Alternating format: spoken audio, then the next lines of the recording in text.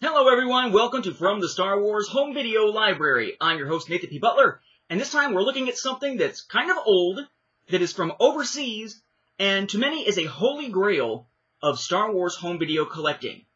Now for context, let's rewind and look at something we've seen before. Ewoks releases in the United States. Yes, Ewoks. we know that Ewoks aired for two seasons on ABC. The first beginning in fall of 1985, and then the latter ending in December of 1986. It wouldn't be until 1990 that any episodes of the show actually got US releases, and it was only season one that ever did. We saw these recently with The Tree of Light as a single episode release, and from the same year, Volume 1 of a special double-length edition release here. This is Volume 1 with Cries of the Trees and The Tree of Light, so this one is duplicated as part of this one. And also as part of the Star Wars Trilogy Animated Collection, we had another of those special double-length editions, this one being Volume 2, including The Haunted Village and Blue Harvest. It took until 1997 for us to get another new release of Ewoks, and it wasn't exactly ideal. That was this, Animated Classics Ewoks The Haunted Village, which took four episodes, The Haunted Village, Cries of the Trees, Sunstar vs. Shadowstone, and Rampage of the Phlogs, and just kind of combined them together to make basically a feature-length animated film that was not only edited together with some parts tweaked, but also rescored. Recently on the show, we looked at this, which was the screener from 1996 of the same program. After another seven-year gap, we had this. Star Wars Animated Adventures Ewoks.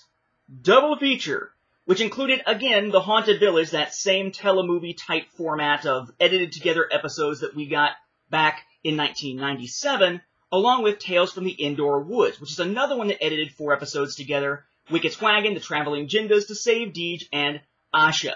But all of these were from Season 1, and this was not all of Season 1.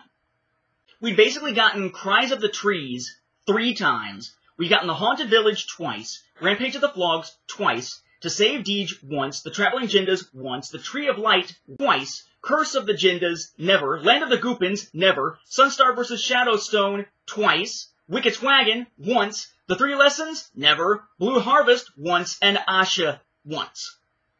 I'm pretty sure I just did that in my head. So that means there were three episodes of season one that we never saw on a home video release in the United States, whether butchered together to make a movie format or individually on some previous version. We had 10 of them, not the other three. Let alone season 2, which really sucked by the way, but let alone season 2, of which there have yet to be a single US home video release. Well, recently I was reading, a long time ago, Exploring the Star Wars Cinematic Universe, an anthology from Sequart.org which is something that I actually contributed to for an essay about season one of Rebels.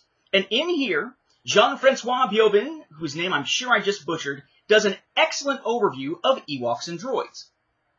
I'm thinking maybe it's Boyvin. I just, I realize I have never tried to actually say that name out loud, and you probably can't see it well enough there anyway. But suffice to say, there is a great one by Jean-Francois that breaks down various aspects of droids and Ewoks, including video releases outside of the United States. And one of the holy grails for Star Wars collectors of home video has always kind of been being able to get a full set of Ewoks or of droids from some other market in which they were actually released as series sets, or as close to that as possible for home video at the time. After reading his essay, I took to eBay again, figuring I wasn't going to find anything. Sure enough, for the first time in what seems like forever, I found something, and what I found was pretty awesome. Again, in the US, season one had 10 episodes released, but originally really only four in their original format. But in the UK, that was very different.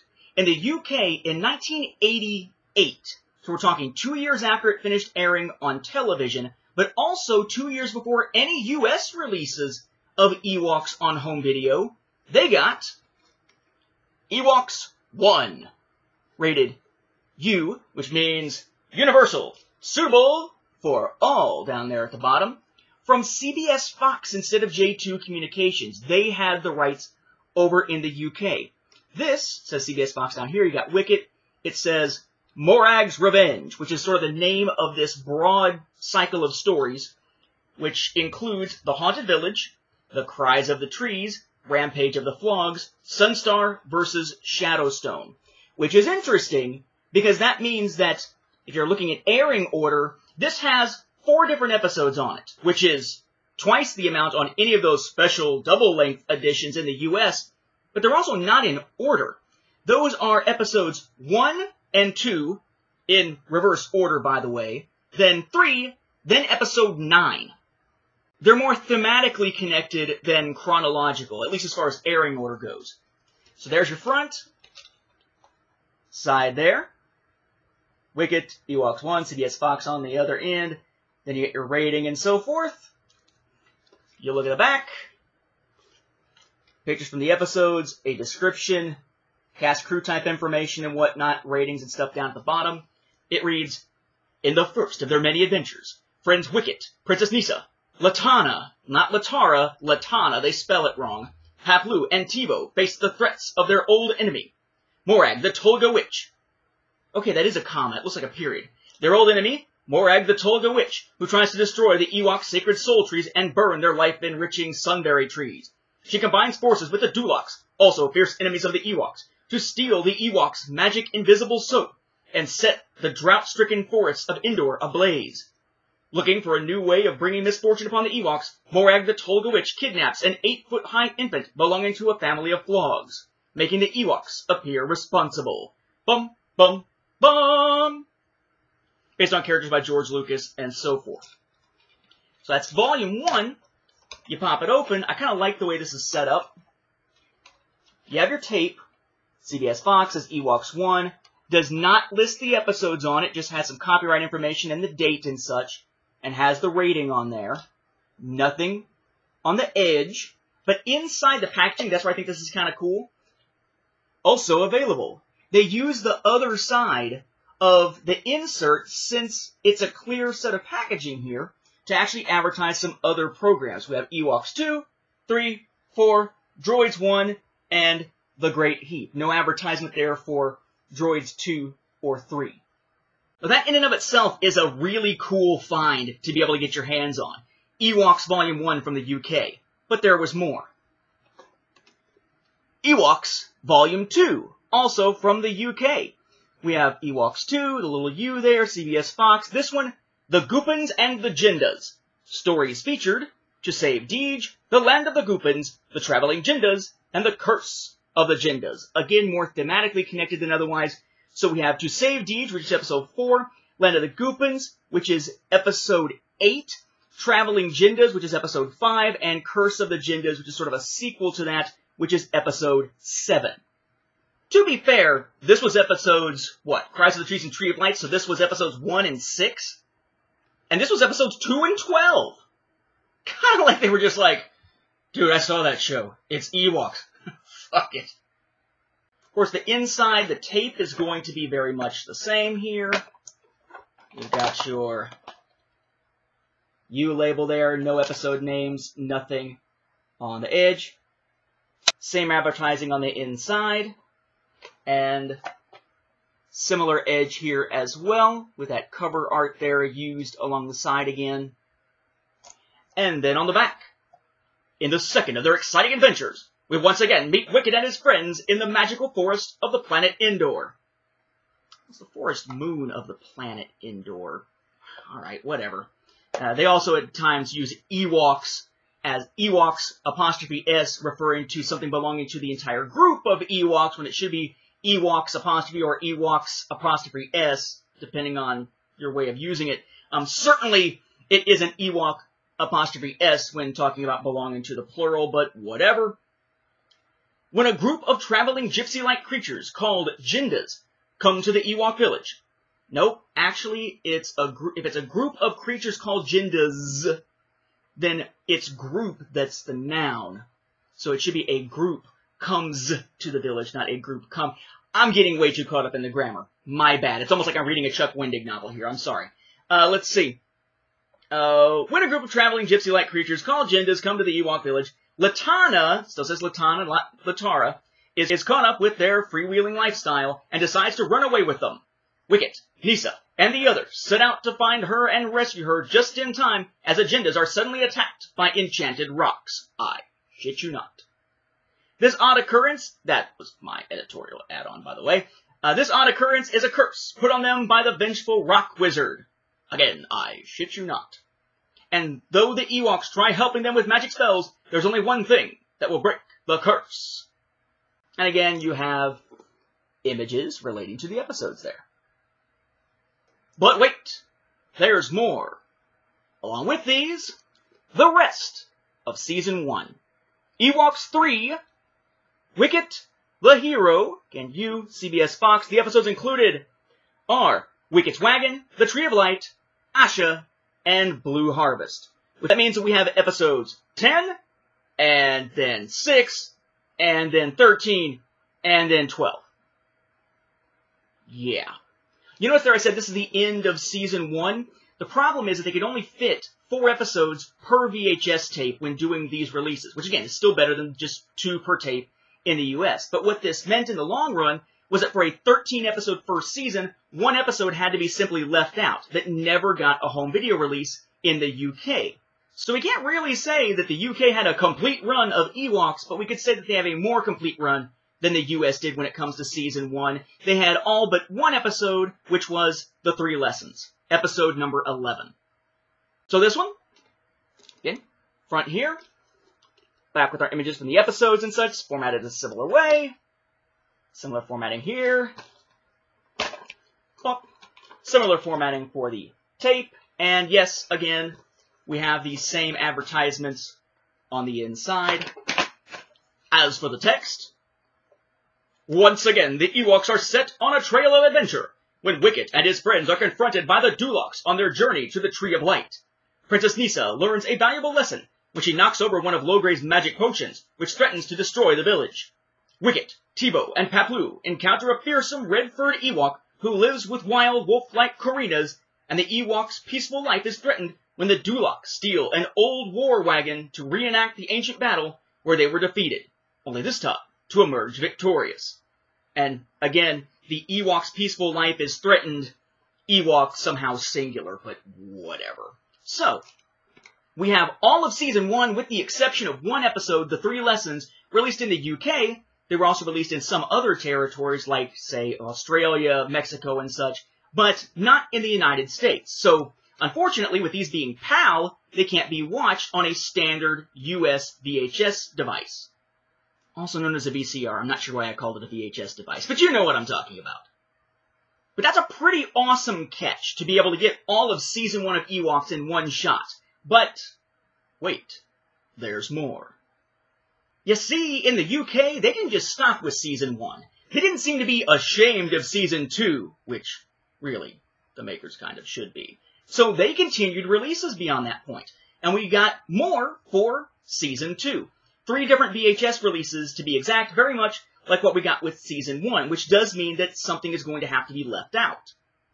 Now, keeping in mind that season two took these stories and some episodes were one story per episode and some were more like two 15 minute episodes with commercials in it that just were released as sort of a one half hour thing on television, but technically two stories. It's actually two stories that are missing, albeit only one episode of Ewoks, which is Prow Beaten and Baga's Rival, which are stories numbers 27 and 28 in the grand scheme of things of all of Ewoks. As for what actually was included, well, we start with Ewoks 4, they did continue on with the numbering here. They didn't restart it for season two.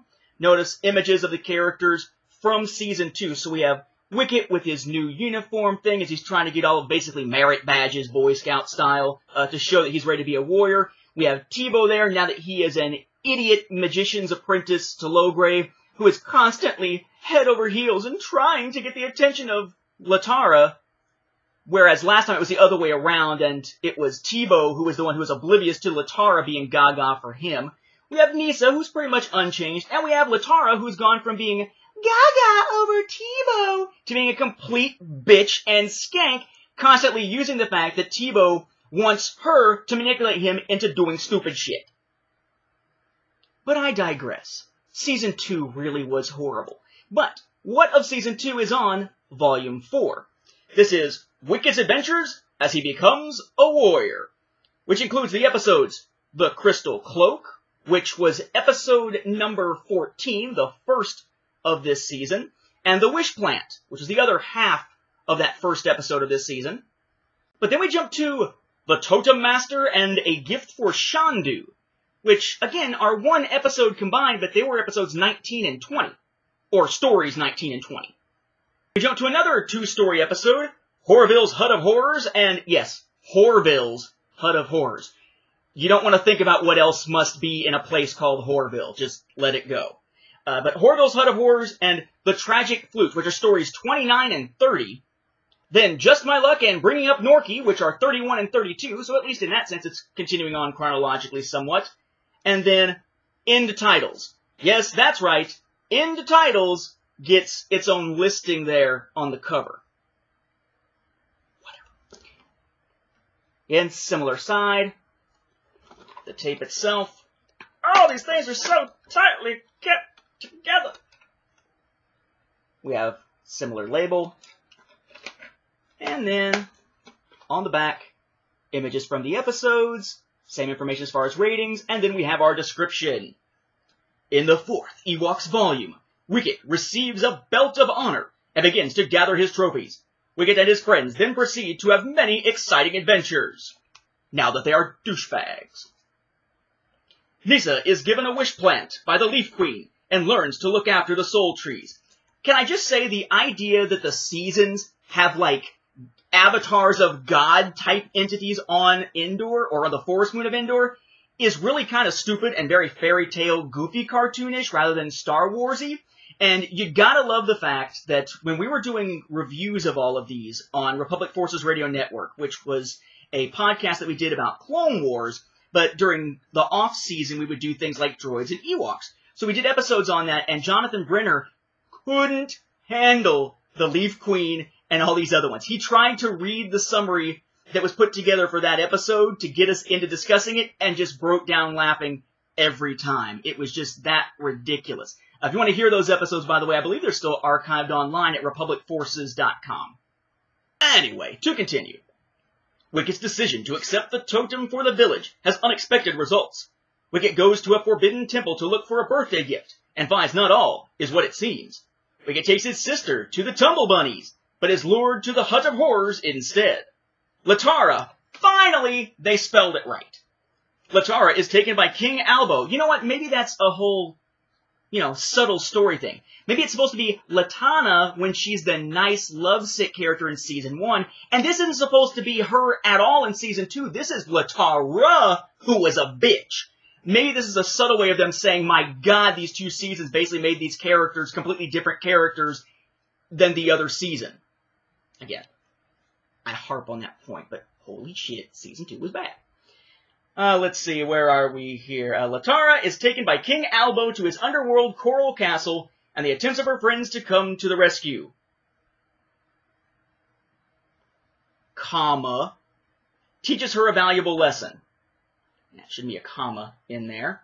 Wicket must break the curse put on him by a mischievous bad luck sprite, Yes, bad luck sprite, as in a little fairy-looking thing, not the drink, though one can be forgiven for thinking he drank something that gave him bad luck, because it is friggin' Ewoks. Uh, if he is to become an Ewok warrior. Norky's visit nearly ends in disaster when he goes in search of treasure in the vacant valley. Bum, bum, bum. Again, volume four. Four episodes from television, but numerous episodes because of the way that it broke those episodes down into two stories each. And again, that's not all. We then have Ewoks Volume 5 from the UK. Uh, this one in a green case. I'm assuming this is a replacement case. It could have been the original because the Great Heap is in a red one that I got in this same auction, which we'll cover on a different episode here because it's droids. But five, for some reason, in a green case here, we have Wicket's Adventures. Stories include Home is where the shrieks are, and Princess Latara. Those are episodes or stories 16 and 17. Gone with the Mimphs and the First Apprentice, 22 and 23.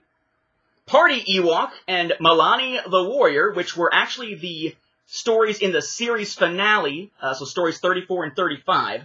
then Hard Cell, and A Warrior and a Lurdo, which are stories 24 and 25.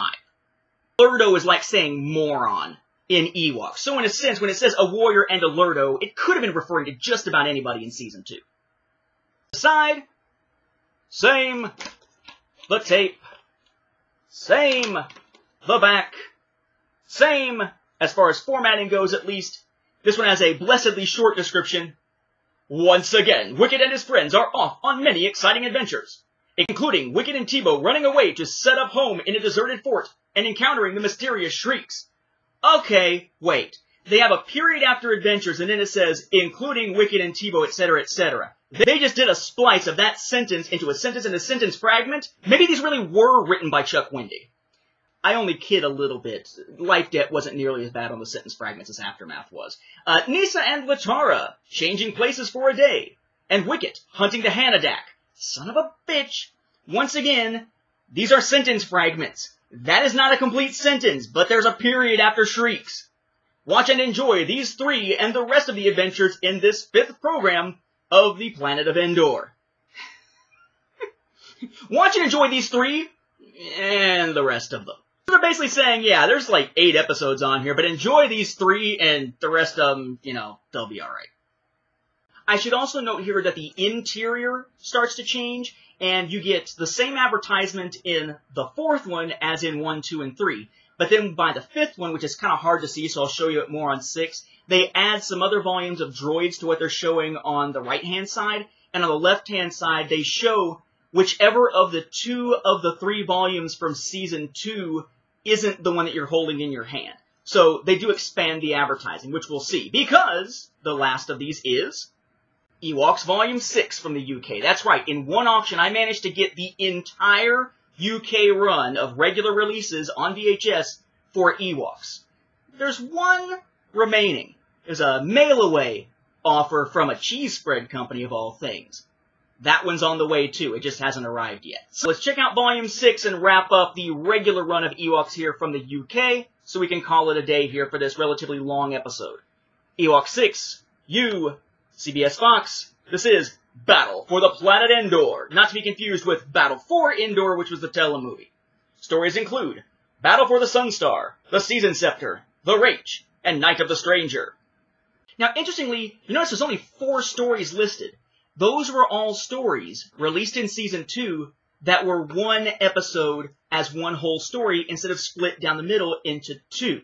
So what you have here is story number 18 with the Raich, 21 with Night of the Stranger, then the Season Scepter is 26, and then the final one here, uh, which is Battle for the Sunstar, that is episode or story number 33. That's that really cool one that actually connects with the Empire for once.